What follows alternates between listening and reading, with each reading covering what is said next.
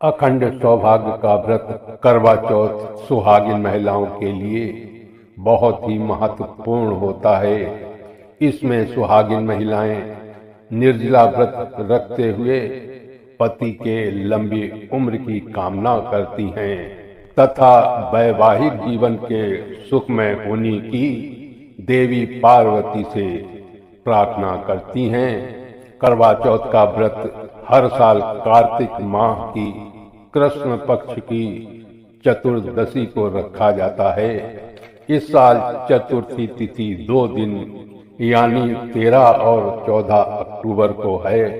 ऐसे में करवा चौथ का व्रत कब रखा जाए? यानी करवा चौथ का व्रत तेरह अक्टूबर को रखा जाए या चौदह अक्टूबर को? आइए जानते हैं हमारी अगली वीडियो में